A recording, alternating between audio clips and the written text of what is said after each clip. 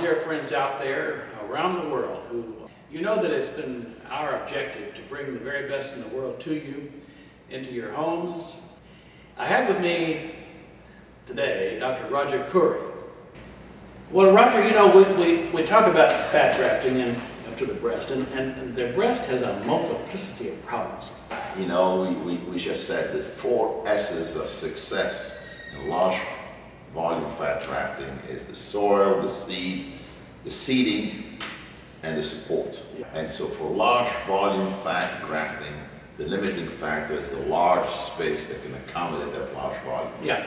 Now, I've been absolutely excited about the way you dealt with the immediate reconstruction of the breast after cancer.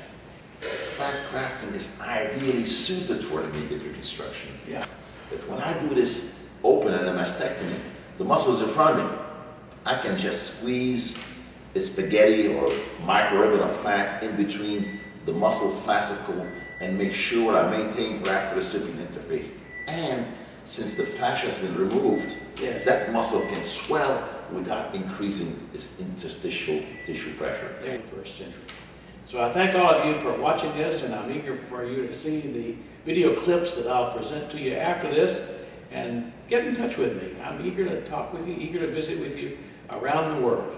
Thanks very, very